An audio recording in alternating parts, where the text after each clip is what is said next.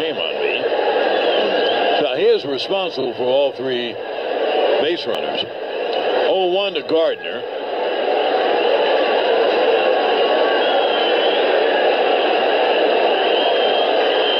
And the pitches pop foul back. So Brasier jumps ahead 0-2.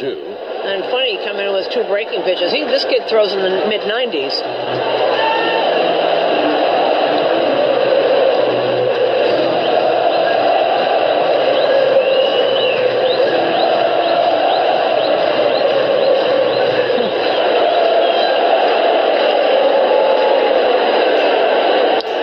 Gardner digs back in, behind on the count 0 and 2.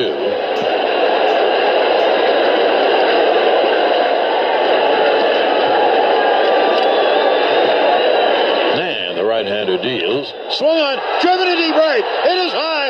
It is far. It is gone. It's a grand slam. Let the Gardy party begin. Brett Gardner plants one in the right field.